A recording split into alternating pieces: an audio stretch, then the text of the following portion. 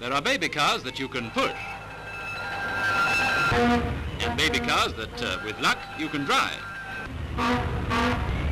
And in these days, with cars becoming larger and more luxurious, the tot that can be driven is something of a novelty. A Paris engineer has built a neat little three-horsepower, two-seater that can knock up 50 without so much as a backfire. And it'll do nearly 100 on a gallon for the engine and a little less for the driver. It's a wrong lane that has no turning for this midget. So if you're the sort of fellow who does business in an alley, you can either park the car on the spot or hang it up on a nail while you're engaged. Another advantage of a small car is that you can squeeze into so many odd corners. And if you want a light,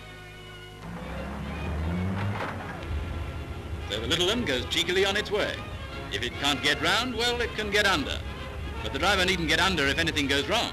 He simply lifts it. It's just the way the car's been brought up.